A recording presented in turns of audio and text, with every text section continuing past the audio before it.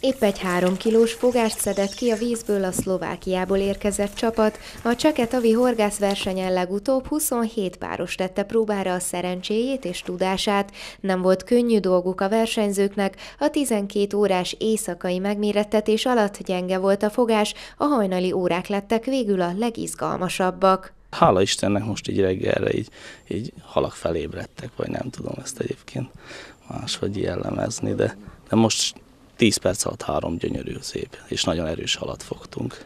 Elejével, mikor kezdtem a horgászatot, akkor még folyón horgáztam, most, most így ilyen gyors pecákra van az embernek ideje, és ez inkább ilyen állóvíz, ilyen, ilyen tavakon. Jó élményekkel fognak elmenni? Igen, igen, szerintem szuper ez a víz, gyönyörű, erős halak, fantasztikusan erő. Előbbi kapás 30 métert húzta, egy ilyen három kilós pont is, vagy kettő is fél. Ez szuper, szuper.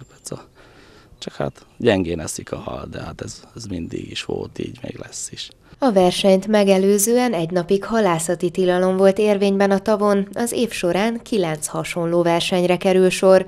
A hétvégi eseményen a reggel 8 órás mérlegelés döntött a helyezésekről. Az, hogy gyenge a fogás eredmény, ez ezer összetevőtől függ maga a hal az rendelkezése állatóban, de általában időjárás, légnyomás, frontok változása, ezért olyan tényező van, ami miatt a halaknak a kapási kedve e, tud csökkenni, és mint látjuk most azért eléggé lecsökkent a kapási kedv. Két-három hal az, ami általában úgy előfordul a horgászoknál. Ez elég kevésnek tűnik pillanatnyilag, de mint mondom, még van egy fél óra. Minden tóban van, azt mondják, egy nagy öreg hal. Itt a csekébe? Itt a csekében is van, legalábbis minden horgász beszél róla, és ez nagyon inspirálja őket, hogy próbálják megfogni.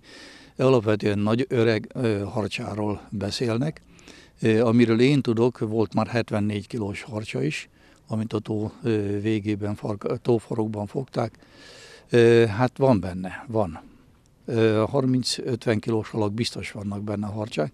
Ennek mondjuk mi kevésbé örülünk, mert azért ez rengeteget pusztít a mi általunk telepített halakból is. Az éjszakai versenyt most hétvégén egy nappali páros megmérettetés követi. A mérlegelésben alul maradt horgászok tehát hamarosan akár javíthatnak is az eredményeken. Persze minden a halak kapási kedvétől függ.